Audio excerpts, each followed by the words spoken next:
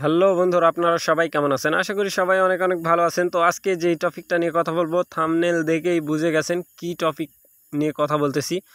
তো আমরা যদি এখানে লক্ষ্য করি, আমাদের সিমের যা অবস্থা, নেটের যা মানে অবস্থা, ঠিক আছে?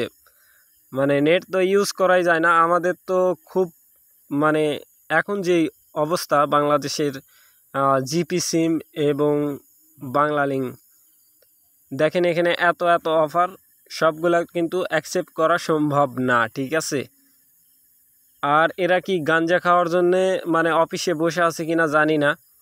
এমন এমন এস এম এস করতেছে সবাইকে, এমন এমন মানে এস এম এস দিচ্ছে। আমাকেও কয়েকদিন তিনি এস এম এস দিচ্ছে। দেখেন এখানে নিচের দিকে যদি স্ক্রল ডাউন করি মানে কি বলব ভাই? সাত জিবি হচ্ছে উননব্বই টাকায় মানে তিরিশ দিন ডাইল এত এত মানে এত এমবি নিয়ে কী করব ভাই আমরা?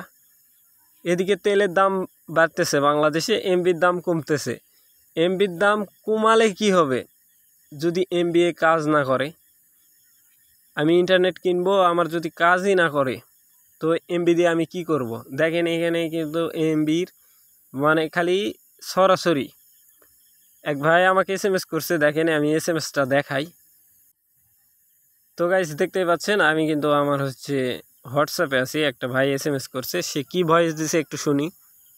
মামা দেখো বিষয়টা। নয় টাকায় এক জিবি সাত দিন আনলিমিটেড কিন্তু দুঃখের কথা কি বলব মামা? আগে ঘরে বসে কথা বলতে পারতাম আর এখন হোয়াটসঅ্যাপে কল আসলে যেতে হয় তিন কিলো দূরে।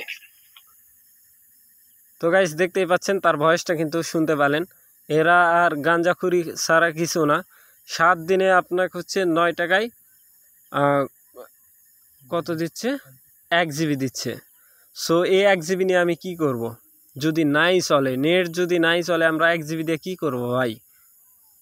ইন্টারনেট যদি নাই চলে, তো এক জিবি দিয়ে আমরা কি করব? আনলিমিটেড হওয়ার পরে ঠিক আছে, সাত দিন আনলিমিটেড আমি এমবি কিনতে পারব, ঠিক আছে মানতেছি।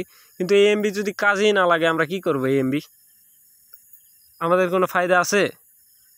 সো আশা করি আপনারা কমেন্টে মতামত জানাবেন এই জিপি সিম আর হচ্ছে বাংলা লিঙ্কের হচ্ছে কি করা যায়। এটা নিয়ে হচ্ছে মতামত আপনারা দিবেন। তারপরে আমরা এর বিষয়ে হচ্ছে অ্যাকশানে যাব, ঠিক আছে?